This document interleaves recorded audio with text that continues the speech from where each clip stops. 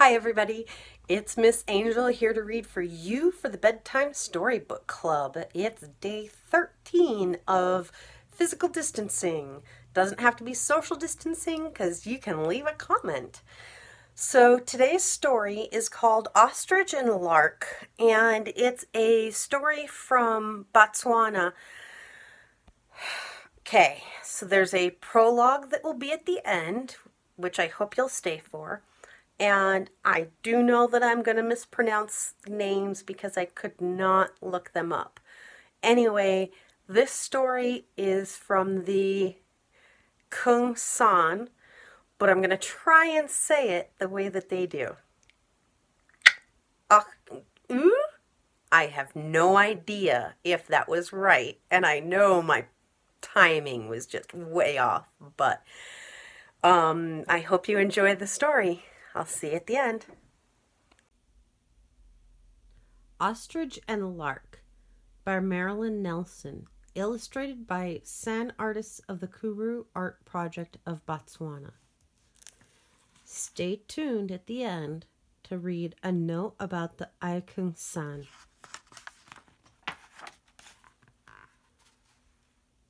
Ostrich and Lark started each morning together at first light, day in and day out, and they parted at nightfall. Every day they nibbled an ongoing meal, a few seeds here, a few seeds there, for ostrich the occasional lizard. All day the sun glared out of cloudless blue. every day, all day, over the cicadas drone, a drizzle of buzzings fell, and a downpour of birdsong. Hornbill, bee eater, hoopoe, diederik, mousebird, whydah, canary, from gray light come to last light gone, the fancy dress suitors of the veld warbled their rain showered jazz. But Ostrich was silent. Lark sang the first song of the day, perched tall, slender, and tawny brown on a termite castle or a low branch of a camel thorn tree.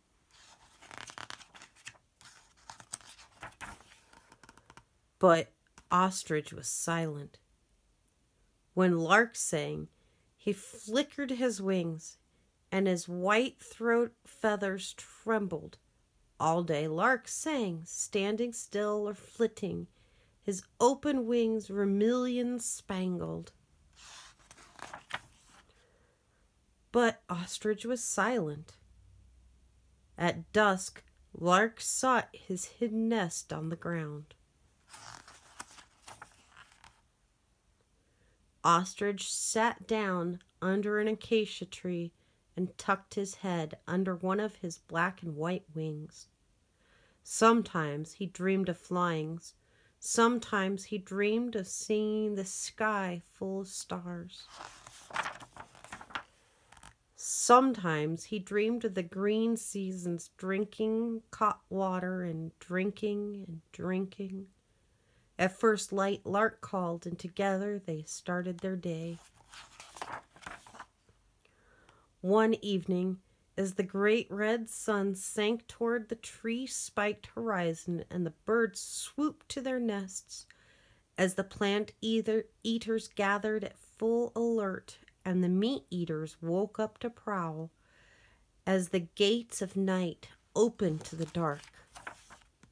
Ostrich fluttered his billowy wings. He stretched his graceful neck, closed his eyes, and Twoot, woot, woot! Ostrich found his voice, a voice part lion's roar, part foghorn, part old man trumpeting into his handkerchief. Ostrich was booming, which is what ostriches do. The veld fell silent. And Ostrich boomed like thunderheads on the horizon. Ostrich boomed like the rainstorm that ends the dusty months of thirst. Ostrich boomed like the promise of jubilant green, like the promise of birth. Ostrich boomed Lark right off his perch. Lark flew up to an ostrich high branch and looked at his friends with a big wow in his eyes. Ostrich had found his voice at last, his own beauty, his big, terrific self. So that was the ostrich and the lark. Have you ever felt like the ostrich where, you know, you just felt like everybody else has got something that you just wish that you could do? And it was all about finding the courage within yourself. What did you do that took a lot of courage for you to show yourself and be proud of yourself? This, taping these for you, is kind of my thing.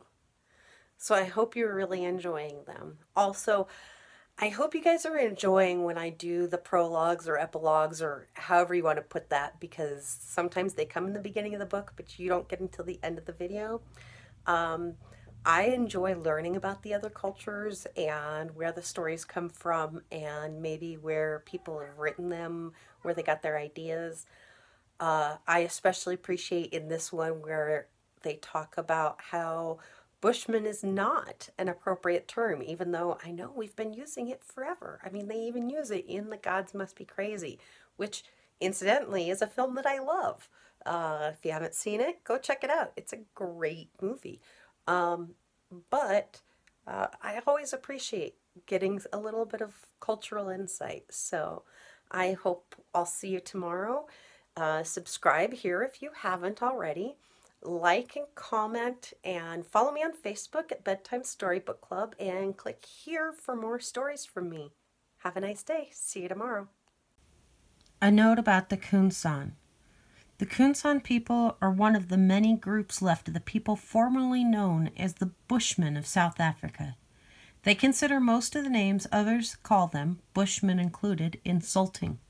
They prefer to be called by their own group names, Ju Hosani, Kung, Naro, Aniqui, among others. They live lightly on the earth, leaving almost no footprint. Their language is one with many click sounds.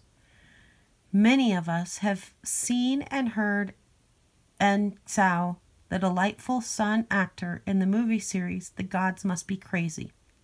In reality, the lives of the San are extremely precarious. The farms and wild animal parks shrink their hunting lands. The San have been slowly displaced, their old way of life made impossible because of development.